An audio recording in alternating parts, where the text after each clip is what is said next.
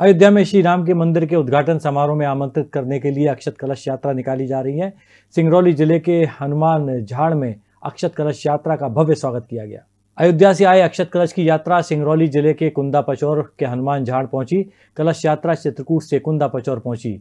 लोगों ने इसका भव्य स्वागत किया। इस यात्रा के ज़रिए लोगों को राम मंदिर के उद्घाटन समारोह में पहुँचने का निमंत्रण दिया गया। इस मौके पर लोगों में खासा उत्साह देखा गया। यात्रा में ग्राम पंचायत पचौर के पूर्व सरपंच श्याम कार्तिक दुबे समाज सेवी छोटे दुबे दिनेश शर्मा, गिरीश द्विवेदी के साथ बड़ी संख्या में लोग मौजूद थे।